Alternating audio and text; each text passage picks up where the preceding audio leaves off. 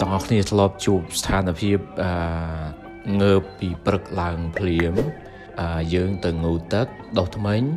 ងូតទឹកដុសធ្មេញងូតទឹកហើយស្លៀកពាក់ស្អីស្អីហើយអត់ទាន់ញ៉ាំអាហារពេលព្រឹកខ្ញុំស្រាប់មើលម៉ោងម៉ោង7:08បាត់ទៅហើយ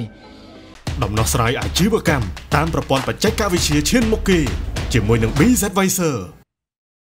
អីយើងចូលទៅធ្វើការម៉ោង8អញ្ចឹងទេ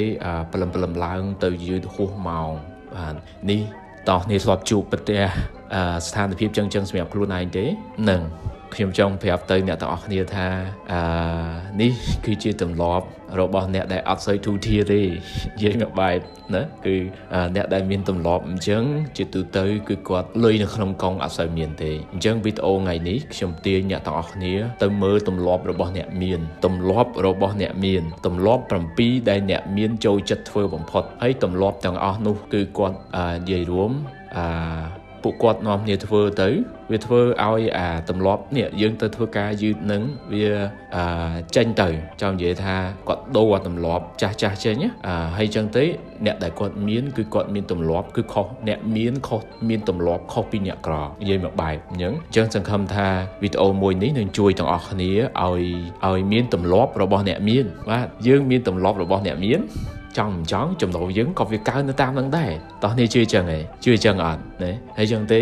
អ្នកមានគឺគេមានទម្លាប់ដោយធ្វើនៅសកម្មភាពជាច្រើនដែលសកម្មភាពដែលជាទម្លាប់របស់ពួកគាត់នឹង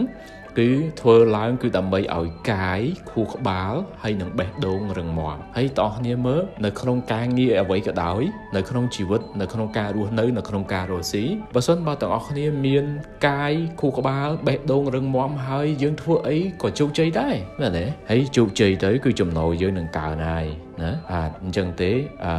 នាំគ្នានាំគ្នាអឺសាកនិងអនុវត្តនៅទម្លាប់ដែលអ្នកមានអ្នកមាន គេចូលចិត្តធ្វើណាអញ្ចឹងនាំគ្នាស្ដាប់ទាំងអស់គ្នាទៅទម្លាប់ទី1ងើបពីព្រឹកទម្លាប់ងើបពីព្រឹកអញ្ចឹងអ្នកមានតោះគ្នាមើល Jeff Bezos បាទមាន Tim Cook ណាសិតតែអ្នក Richard Branson សិតតែអ្នកដែលនិយាយរួមងើបពីព្រឹកមែនតើអ្នកខ្លះងើបរហូត4កន្លះ5កន្លះក៏មានដែរហើយជាទូទៅបើសិនបងប្អូនអាចងើបត្រឹមម៉ោង6អានេះតាមការស្រាវជ្រាវទេអ្នកងើបត្រឹមម៉ោង6ហ្នឹងគឺជា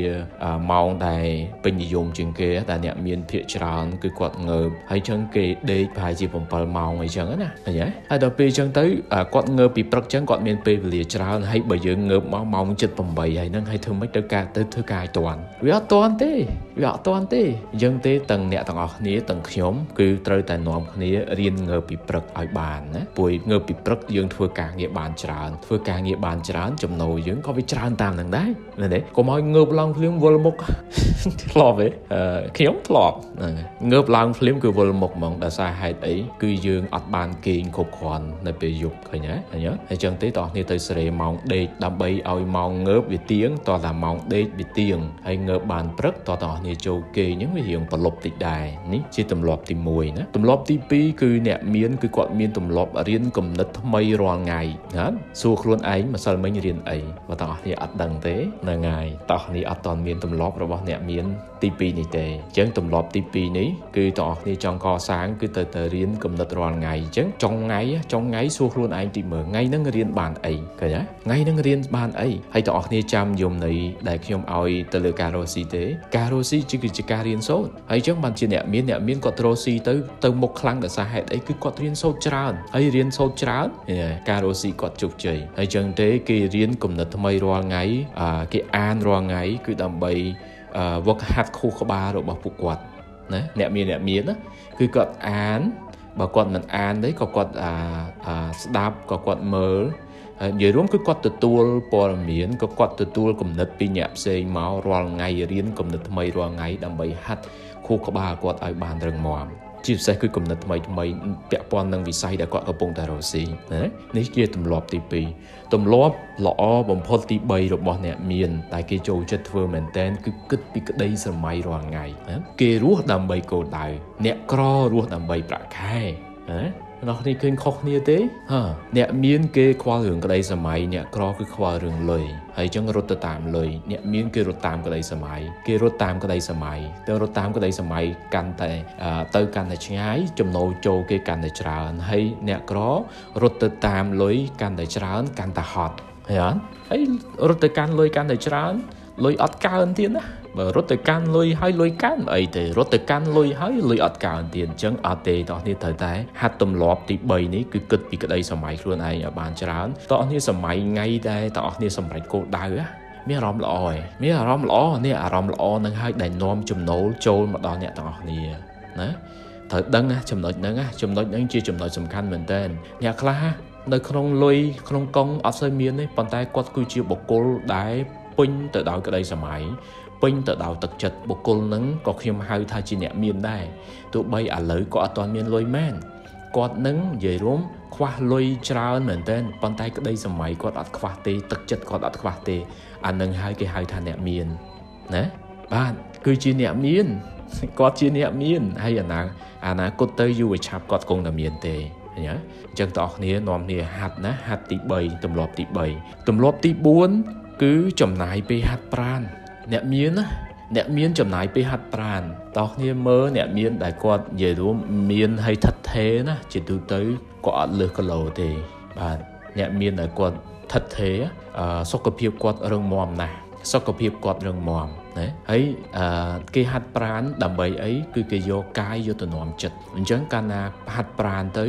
កាយកាយរឹងមាំកាយនឹងគឺនាំចិត្តយើងឲ្យរឹងមាំដែរអញ្ចឹងជាទូទៅចិត្តតែងតែប៉ះពាល់ ចិត្តតែងតែប៉ះពាល់អញ្ចឹងគេហាត់ប្រាណដើម្បីជំនួយចិត្តណា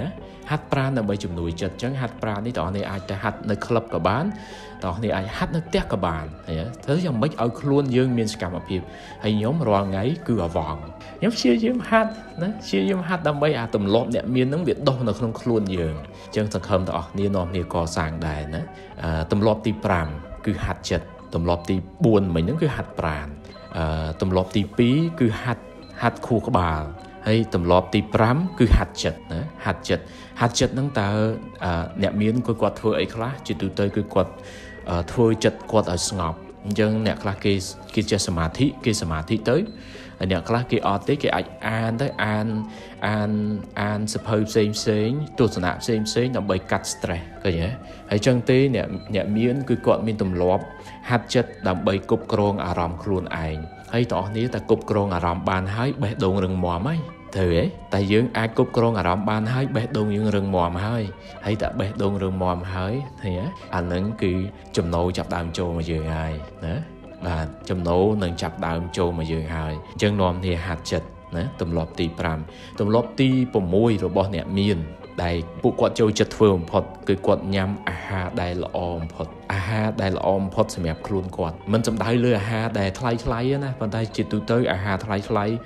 មួយចំនួនធំគឺល្អសម្រាប់ពួកគាត់ហើយចឹងទេយើងក៏មានអាហារដែលល្អសម្រាប់យើងដែរហើយហើយចំណាយតិចក៏វាមានដែរវាមិនទៀមទារហូតដល់ថ្លៃថ្លៃថ្លៃទាំងអស់ទេអញ្ចឹងយើងអាចរើមើលផ្លែឈើណាល្អល្អយើងមើលត្រីយើងមើលក្របធនជាតិយើងមើលសុទ្ធហើយញ៉ាំទឹកឲ្យបានច្រើនឃើញទេអាហារល្អគឺសម្រាប់រាងកាយផងសម្រាប់ខួរក្បាលផងហើយក៏សម្រាប់សុខភាពបេះដូងដែរកុំឲ្យសុខបេះដូងយើងវាសម្បូរខ្លាញ់ពេកណាអើបើបេះដូងលេងខ្លាញ់រុំទៅសៃបេះដូងអស់ហើយទៅអស់នេះសម័យបាក់សម័យសម័យសម័យទៅវាចេះថា ខូចដោយសារហេតុអីវាឈាមវាខ្វះឃើញហ៎ហើយចឹងទេអត់ទេបងប្អូនគួរនាំគ្នាញ៉ាំឲ្យបានល្អណានាំគ្នាញ៉ាំឲ្យបានល្អត្រូវចាំថាញ៉ាំគឺញ៉ាំដើម្បីខួរក្បាលញ៉ាំដើម្បីខ្លួនប្រាណញ៉ាំដើម្បីបេះដូងនេះជាទម្លាប់ទី6ហើយជាទូទៅអ្នកដែលញ៉ាំបានល្អ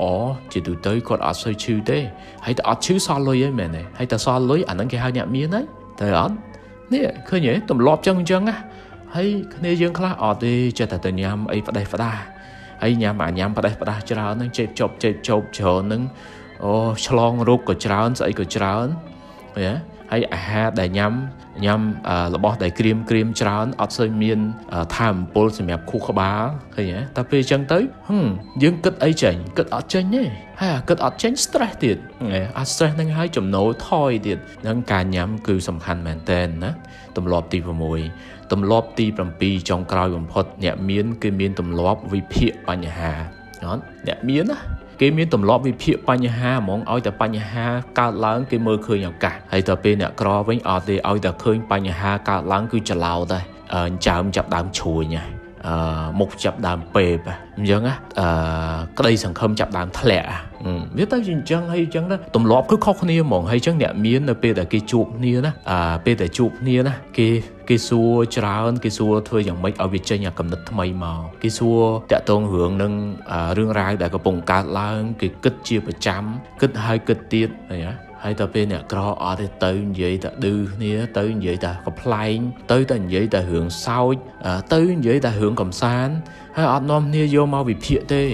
អត់នាំគ្នាយកមកវិភាគទេអត់នាំគ្នារៀនគិតពីបញ្ហាទេហើយដល់ពេលអញ្ចឹងទេគឺគំនិតថ្មីអត់ចេញទេអញ្ចឹងអត់ទេណាត្រូវផ្លាស់ប្ដូរទម្លាប់ទី7នេះឲ្យបាន គឺនាំគ្នារៀនវិភាគឲ្យចេញនាំគ្នារៀនវិភាគឲ្យច្រើនអត់តន់ចេញក៏អត់ទៅណាគំនិតថ្មីអត់តន់ចេញក៏អត់ទៅប៉ុន្តែធ្វើយ៉ាងម៉េចនាំគ្នាគិតឲ្យច្រើនបានគិតឲ្យច្រើន វាល្អសម្រាប់ខួរក្បាលឲ្យយើងចេះសម្រេចចិត្តឃើញទេអូល្អល្អមែនតើហើយអាការដែលយើងសម្រេចចិត្តត្រូវនឹងហើយដែលធ្វើឲ្យចំណូលយើងកើនហើយអាការដែលយើងសម្រេចចិត្តខុសវាធ្វើឲ្យចំណូលយើងអត់កើនទេអញ្ចឹងសរុបទៅវិញទម្លាប់ល្អល្អទាំង7របស់អ្នកមានខាងលើសូមនាំគ្នាយកទៅអនុវត្តណាខ្ញុំសង្ឃឹមថាទាំងអ្នកទាំងអស់គ្នាហើយខ្ញុំបានកំពុងតែអនុវត្តសម្រាប់ខ្លួនឯងហើយដើម្បីបដោះទម្លាប់ទាំង7នេះឲ្យឲ្យខ្លាំងតែម្ដង ឲ្យខ្លាំងតែម្ដងហើយអនុវត្តទម្លាប់នេះបដាបដាយើងឃើញលទ្ធផលចេញមកបដាបដាសម្រាប់អាជីវកម្មខ្លួនឯងសម្រាប់ជីវិតខ្លួនឯងក៏វាប្រសើរជាងមុនអញ្ចឹងនៅចាំអីទៀតណានៅចាំអីទៀតនាំគ្នាកសាងទម្លាប់ទាំងនេះសម្រាប់ខ្លួនឯងណាហើយជូនពរឲ្យជោគជ័យនៅក្នុងជីវិតនិងការរស់ស៊ីរបស់អ្នកទាំងអស់គ្នានៅខ្វះគំនិតរស់ស៊ីបាទអាចចូលទៅមើល YouTube សំកសលណាហើយចូល Subscribe ម្នាក់មួយផងគំនិតលោកគ្រូនៅទីនោះមានច្រើនហើយក្រៅពីនេះបាទអានសភៅបន្ថែមណាសភៅចាប់កំហមានលក់នៅតាមបណ្ណាគារហើយនឹងអឺដឹកជូនដោយហាងឆេង24បាទអាចតំណតំណងតាមលេខទូរស័ព្ទ016 300 843បាទអរគុណច្រើន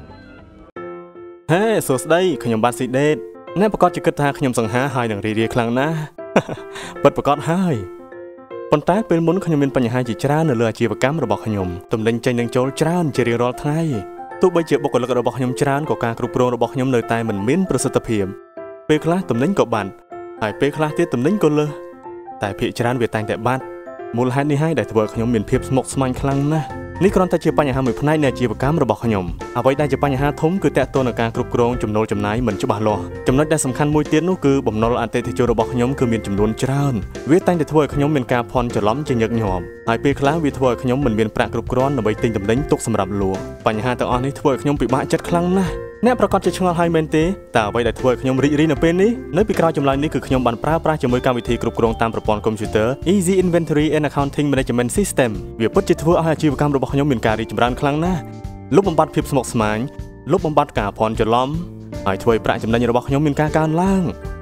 បាយបាយបញ្ហាទាំងឡាយដែលតែងតែយីយីអាជីវកម្មរបស់ខ្ញុំចុះអ្នកទាំងអស់គ្នាមានប្រឈមមុខនឹងបញ្ហាដ៏សែនឈឺក្បាលដោយខ្ញុំពេលមុនដែរឬទេប្រសិនបើមានសូមតាក់ទងមក BZ Advisor នៅពេលនេះ BZ Advisor Simplify your business